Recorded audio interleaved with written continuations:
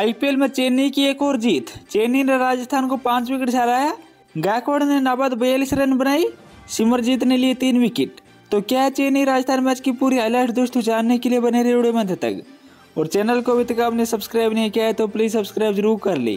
Chennai super Singh ने IPL 2024 के playoff की अपनी उम्मीदें कायम रखी है। टीम ने मौजूदा सीज़न के इकसठवें मुकाबले में राजस्थान रॉयल्स को पाँच विकेट हरा दिया है।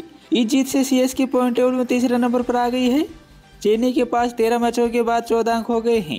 आज दिन के पहले मैच में चेन्नई के स्टेडियम में राजस्थान ने टॉस जीता और पहले बैटिंग करने का फैसला लिया। राजस्थान ने पहले बैटिंग करते हुए 20 ओवर में पाँच विकेट के नुकसान पर एक सौ इकतालीस रन बनाई और चेन्नई को एक सौ बयालीस रनों का टारगेट दिया। जवाब में चेन्नई ने अठारह पॉइंट दो ओवर में पाँच विकेट खोकर टारगेट हासिल कर लिया। चेन्नई की ओर से कप्तान ऋतुराज गायकवाड़ ने नाबाद बयालीस रनों की पारी खेली। वही सिमरजीत सिंह ने तीन विकेट लिए। उन्नीस परफॉर्मेंस के लिए प्लेयर ऑफ़ द मैच भी चुना गया। राजस्थान के लिए रियान पराग ने सबसे ज़्यादा 35 बॉल पर नाबाद सैंतालीस रनों की पारी खेली।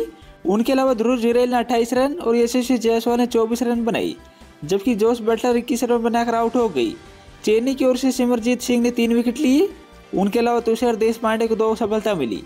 वही टारगेट का पीछा कर रही चेन्नई के लिए कप्तान ऋतुराज गायकवाड़ ने सबसे ज़्यादा रन बनाई। उन्होंने इकतालीस बॉल पर नाबाद बयालीस रनों की पारी खेली और अपनी टीम को जीत दिलाकर ले गई।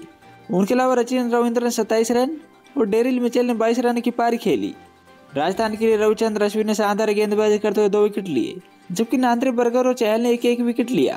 सो दोस्तों इस प्रकार चेन्नई की तेरह मैचों में सात जीत हो चुकी है और चौदह अंकों के साथ चेन्नई की टीम तीसरे नंबर पर पहुँच गई है। आपके अनुसार दोस्तों, इस बार आईपीएल फाइनल में कौन सी टीम जीतेगी, हमें कमेंट करके ज़रूर से बता दीजिएगा। और क्रिकेट से जुड़ी इसी प्रकार की वीडियो के लिए प्लीज़ हमारे चैनल को सब्सक्राइब ज़रूर कर ले। धन्यवाद।